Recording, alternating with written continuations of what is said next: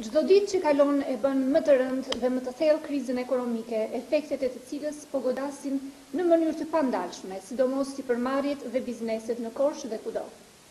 Duke fundosur ekonomitë e vogla lokale të cilat sot diskutojnë mbijetesën.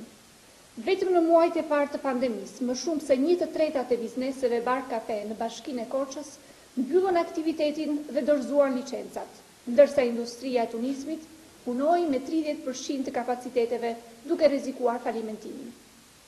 Shumë biznese të tjerë po e mbajnë veten me kredi dhe borxhe në një kohë ku perspektiva e pandemisë shkatërrimtare mbetet e paqartë.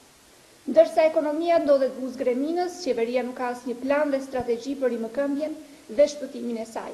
Sepse qeveria e Ramës ka prioritet vetëm projektet miliona euro të oligarkëve që kanë vazhduar të grabisin paratë publike edhe gjatë pandemisë.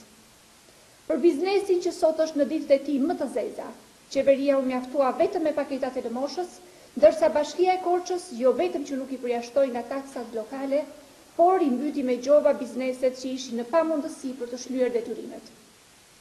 Bizneset dhe sipërmarrjet jo vetëm që nuk po mbështeten dhe ndihmohen, por po detyrohen të ushtrojnë aktivitetin në një klimë dhune dhe pasigurie, që buron nga lart dhe përcillet në çdo kapilar të institucioneve dhe shoqërisë. Mbyllja e dhjetra bizneseve dhe reduktimi i aktivitetit të atyre që me stërmundim po i rezistojnë krizës, kanë lënë të papunë mbi gjashtëqind persona, ndërsa mbi dy mijë e treqind të tjerë qytetarë, në Bashkinë e Korçës janë në kërkim të një pune në zyrën e punës. Varfëria e djeshme për shumë familje korçare që sot nuk sigurojnë dot as ushqimin është kthyer në skamje të dhimbshme dhe të pashpresë, e cila shumëfishohet nga shpërfillja dhe arroganca e këtij pushteti, që është bërë barrë e padurueshme për të gjithë.